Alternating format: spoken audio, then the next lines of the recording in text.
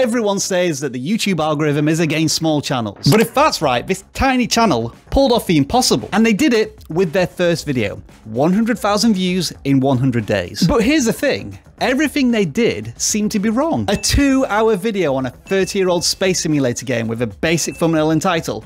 Who's going to watch that? But here's what they got right. They tapped into a critical YouTube strategy supply and demand. Finding a topic that people are interested in that's underrepresented on YouTube. And long essay style video game retrospectives are big on YouTube. And yet no one was covering Space Simulator video games. So up steps our creator with this epic and YouTube sees its potential. High watch time, more impressions, 100,000 views. And there's your proof that it's simply not true when